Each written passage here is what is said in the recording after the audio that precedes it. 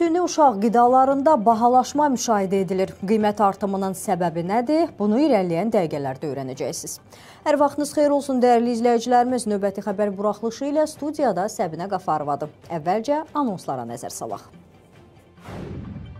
Azərbaycan-Gürcüstan əlaqələrinə baş nazir İrakli Qaribaşvilinin istifası necə təsir eləyəcək? Polşada 2 aylıq körpəsi ilə birgə itkin düşən Azərbaycanlı qadının meyiti aşkarlandı. Rəcəb Tayyib Ərdoğan zəlzələdə evləri dağılan vətəndaşlara yeni mənzillərin verilməsi mərasimində iştirak edib.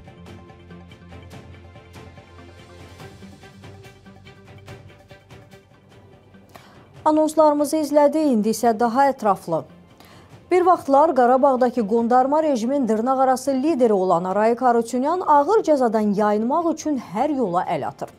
İstintaqı davam edən bu separatçı digər yol yoldaşlarından daha çox simpatiya qazanmaqdan ötürü özünü istiqanlı aparır, əməkdaşlığa can atır. İndi də Arayik növbədən kənar prezident seçkilərində iştirak etməyə arzusuna düşüb.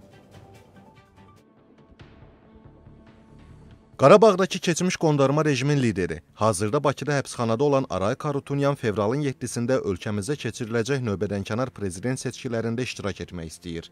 O səs verə bilmək üçün müvafiq qurumlara yazılı müraciət edib. Qeyd edək ki, Aray Karutunyanın seçkilərdə iştirak etməsi mümkün deyil. Çünki onun səs verməsi üçün Azərbaycan vətəndaşlığı olmalıdır. İndiki halda isə bu fakt yoxdur. Onu da əlavə edək ki, bundan əvvəl onun istintaqla yaxından əməkdaşlıq etdiyi, özünü Azərbaycan vətəndaşı saydığını bildirdiyi və istintaq İstintaqdan sonra ailəsi ilə birlikdə Azərbaycanda yaşamaq istədiyi haqda dövlət qurumlarına müraciət etdiyi barədə də məlumat yayılmışdı. İrakli Qaribaşvilinin dövründə Azərbaycanla Gürcüstan münasibətləri yüksələn xətt üzrə inkişaf etdi. Bəs baş nazir postunda Qaribaşvilini İrakli Kabaxidzənin əvəzləməsi əlaqələrə necə təsir göstərəcək? Gürcü politoloqların fikrincə, strateji dostluq münasibətləri inkişaf edəcək və bunun alternativi yoxdur. Gürcüstanın baş nazirinin dəyişməsi Azərbaycan-Gürcüstan münasibətlərinə heç bir mənfi təsir göstərməyəcək. Bunu Baku TV-yə verdikləri müsahibələrində Gürcü politoloq və ekspertlər bildiriblər. Sulele Beptan Gürcüstanın hakim partiyasındakı kadr dəyişiklikləri Azərbaycan və Gürcüstan münasibətlərinə mənfi təsir göstərə bilməz. İrakli Kobaxidze baş nazir vəzifəsinə gəlir və İrakli Qaribaşvili isə Gürcü Arzusu partiyasının sədri olaraq fəaliyyətini davam etdirir. Hər iki siyasətçi Gürcü Arzusu partiyasının üzvüdür. Hakim partiyanın lideri isə Bidzina İvanişvilidir. İvanişvili Azərbaycanla Gürcüstan arasındakı strateji dostluq əlaqələrinin inkişaf yolunun davam etdirilməsində maraqlıdır. Heç bir şübhəm yoxdur ki, Kobaxidze də bu siyasəti uğurla davam etdirəcək. Azərbaycan-Gürcüstan münasibətlərinin başqa alternativi yoxdur. Politoloq Simon Kopadze isə yalnız Gürcüstan daxilində bir sıra siyasi proseslərdə yeniliklər ola biləcəyini deyir. Gürcüstanın hakim partiyasında seçki qabağı kadr dəyişiklikləri edildi. Ancaq hakim partiya eyni hakim partiya olduğundan heç bir siyasi kursun dəyişikliyi gözlənilmir. Yalnız ölkə daxilində bir sıra siyasi proseslərdə yeniliklər ola bilər. Azərbaycan-Gürcüstan əlaqələrinə bu cür kadr dəyişikliyinin təsiri yoxdur. İki ölkə arasında tarixən yaxın dostluq, qardaşlıq və strateji tərəfdaşlıq münasibətləri var. Bütün bunlar da olduğu kimi qalacaq. Ölkələrimiz arasında əlaqələr daim yüksək xətt üzrə davam edib və belə də olacaq. Qeyd edək ki, İrakli Qarabaşvili istifasından sonra Gürcüstanın hakim Gürcü Arzusu partiyasının baş nazirliyə namizədi İrakli Kobaxidze hökumətin tərkibini artıq parlamentə təqdim edib. Parlament fevralın 8-də baş naziri və hökumətin tərkibini təsdiqləyəcək. Türkiyədə on minlərlə insanın həyatını itirməsi ilə nəticələnən zəlzələdən artıq bir il ötür. Evlərini itirən ailələrə yeni mənzillərin təqdim edilməsinə başlanılıb. Bununla bağlı keçirilən tədbirdə Prezident Rəcəb Tayyib Ərdoğan da iştirak edib. Türkiyənin Hatay vilayətində 2023-cü il fevral ayında baş verən zəlzələ nəticəsində evlərini itirən ailələrə yeni mənzillər təqdim olunub. Evlərin təqdimat mərasimində Prezident Rəcəb Tayyib Ərdoğan da iştirak edib. Ərdoğan zəlzələdə Türkiyəyə yardım edən ölkələrə təşəkkür edib. Toplamda 650 bin personel deprem bölgesindeki müdahale çalışmalarında görev aldı. Aralarında 11.500'ü yabancı ekip mensubu başta olmak üzere 35.250 arama kurtarma personelimizin 142 bin güvenlik görevlimizin, sağlıkçılarımızın, madencilerimizin, ormancılarımızın, gönüllülerimizin bulunduğu bu kardeşlerimizin hepsine şahsım, milletim adına teşekkür ediyoruz. Bu arada Türkiyədə 6 fevral zəlzələləri ilə bağlı 3000-ə yaxın şəxs barəsində cinayət işi açılıb. Yeraltı təkanların baş verdiyi bölgədə dağılan və ya tikinti normalarına zidd olaraq dəyişdirilən binalarla bağlı aparılan araşdırmalarda 2825 şübhəli haqqında cinayət işi başlanılıb. Bu barədə Türkiyənin Ədliyyə naziri Yılmaz Tunç sosial şəbəkədəki səhifəsində yazıb. Onun sözlərinə görə həmin şəxslərdən 267-si barəsində həbs qəti imkan tədbiri seçilib. 984-ünün barəsində isə məhkəmə nəzarəti qərarı çıxarılıb. Amerika Birləşmiş Ştatları yanvarın 28-də Suriya-İordaniya sərhədindəki Amerika bazasına hücuma cavab olaraq İraq ərazisinə hava zərbələri endirib.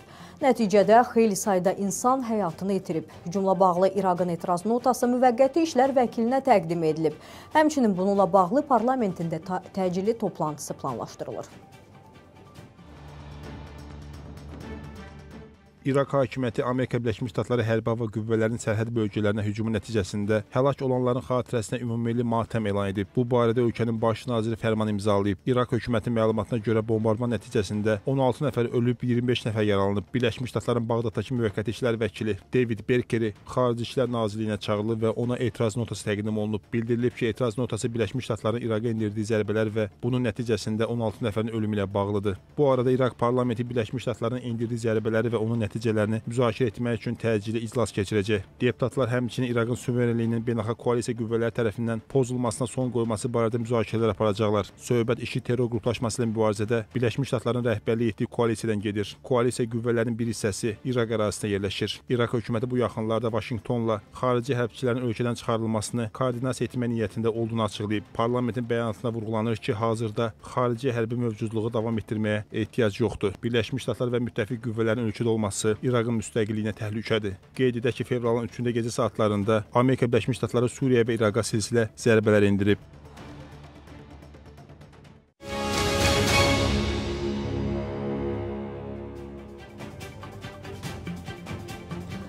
Davam edirik. Polşada 2 aylıq övladı ilə birgə itkin düşən Azərbaycanlı qadının meyti çayda aşkar edilib. Bu barədə Polşa mətbuatı məlumat yayıb. İtkin düşən soydaşımız Adilə Mehdiyevanın cansız bədəni Oder çayından tapılıb. Cəsəd tanınmaz haldadır və onun mərhuma aid olması yalnız qeyimlə müəyyən edilib. Körpənin taliyi barədə məlumat yoxdur. Qeyd edək ki, Adilə Mehdiyeva 2023-cü ilin dekabrın 17-sində 2 aylıq körpəsi ilə birlikdə itkin düşüb.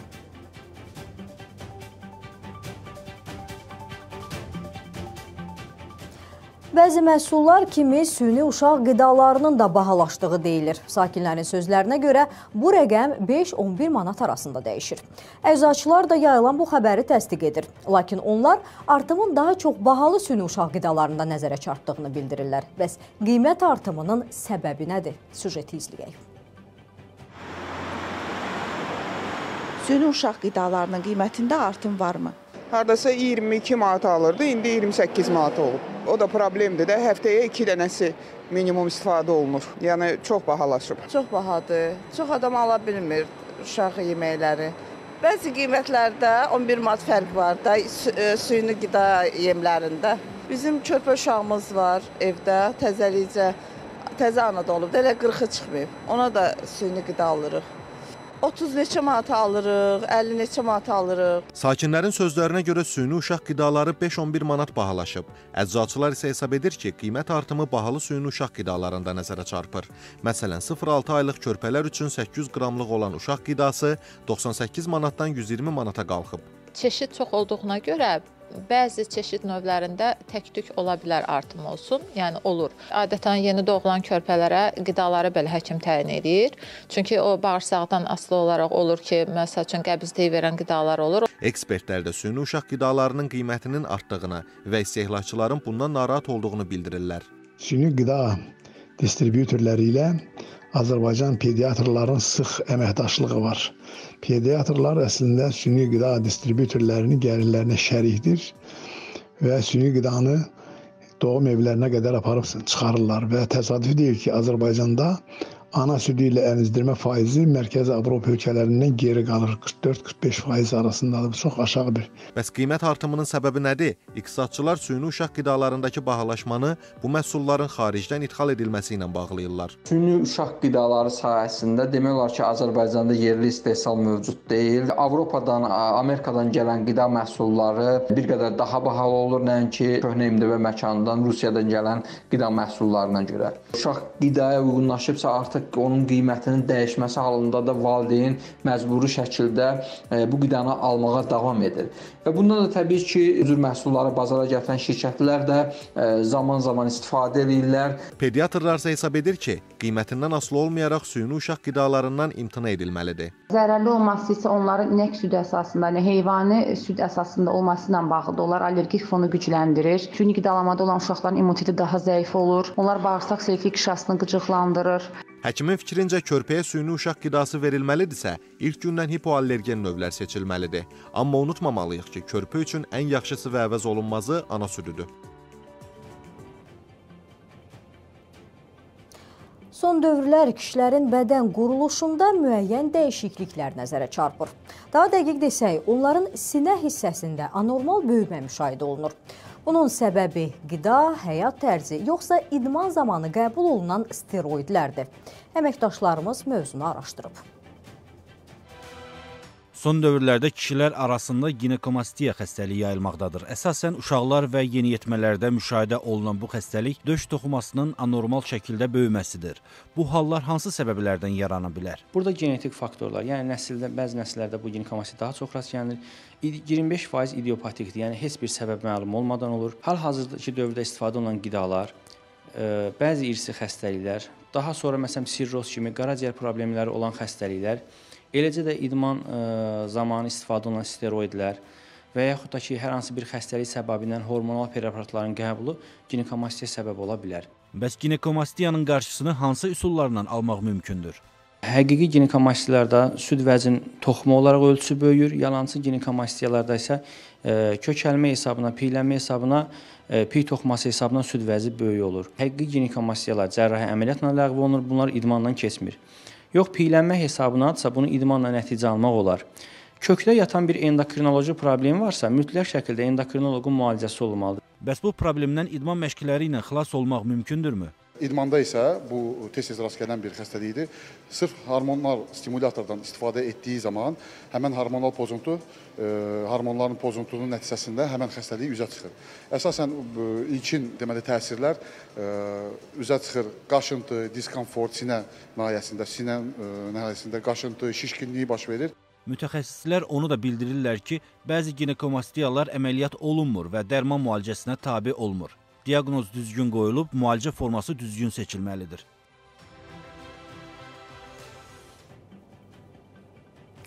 Və sonda, xərçəng xəstəliyi dünyada ürək-damar xəstəliklərindən sonra ikinci ən çox ölüm səbəbidir. Dünyada hər 6 ölümdən biri xərçəngdən baş verir. Əsrin bəlası hesab edilən xərçəngin müalicəsi hələ də tam müəyyən edilməyib. Dünyanın diqqətini bu qlobal problemə yönəltmək, eləcə də xəstəliyin təhlükəli dərəcəsi və onun yeni müalicə üsullarını dünya ictimaiyyətinə çatdırmaq üçün hər ilin bu günü Ümumdünya Xərçənglə Mübarizə günü kimi qeyd edilir. 4 fevral Ümumdünya Xərçənglə Mübarizə günüdür. Ümumdünya Səhiyyə Təşkilatına bağlı Beynəlxalq Xərçəng Araşdırmaları Agentliyinin dərc etdiyi hesabata görə 2022-ci ildə təxminən 20 milyon yeni xərçəng hadisəsi aşkar edilib və 9,7 milyon insan xərçəng səbəbilə dünyasını dəyişib. Hesabata 2050-ci ildə xərçəngə yoluxma hallarının 77% artacağı qeyd olunub. Yoluxma hallarının 49,2%-i Asiyada, 22,4%-i Avropada, 13,4%-i Şimali Amerikada, 7,8%-i Latın Amerikasında, 5,9% faizi isə Afrikada aşkar edilib. Dünyada ən çox yayılan xərçəng növləri ağciyər, döş və kolorektal xəstəlikləri olub. Ağciyər xərçəngi 2,5 milyon yeni hadisə ilə ümumi yeni halların 12,4 faizini təşkil edib və dünyada ən çox rast gəlinən xərçəng növü olaraq qeydə alınıb. Bədənin demək olar ki, hər bir orqanında anormal hüceyrələrin nəzarətsiz böyüməsi ilə başlayan və digər orqanlara yayılan böyük bir xəstəlik qrupu olaraq təyin olunan xərçəng dünyada ən öldürücü ikinci xəstəlik olaraq bilinir. Fərqli toxumalarına görə adlandırılan 200-dən çox xərçəng növü müəyyən edilsə də, onların rast gəlmə tezliyi insandan insana dəyişə bilər.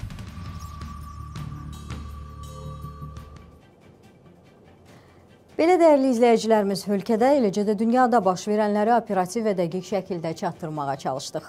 Siz isə gördüyünüz və sizi narahat edən məsələlərlə bağlı qaynar xəttimizə müraciət etməyi unutmayın. Daim yenilənən Xəbərlərimizi isə sosial şəbəkə hesablarımızda da izləyə bilərsiniz. Həmçinin ekranda gördüyünüz frekansları yığmaqla Azərspace B2 vasitəsilə bizi həm Avropa, həm də Asiyada izləmək mümkündür. Eyni zamanda kabel yayımında Astelekom, Baktelekom və Sisinet-də 10-cu, Connect TV-də 2-ci, KTV-də analog yayımda 12-ci, rəqəmsal yayımda isə 22-ci kanalda, Ailə TV-də isə IP yayımında 8, rəqəmsal yayımda 17-ci, analog yayımda isə 31-ci kanalda bizə baxa bilərsiniz. Baku TV artıq ATV Plus-da da yayımlanır. Axtarış verməklə kanalımızı tapıb izləməyə davam edin. Belə dəyərli izləyicilərimiz, növbəti xəbər buraxılışlarında təkrarən görüşmək ümidi ilə.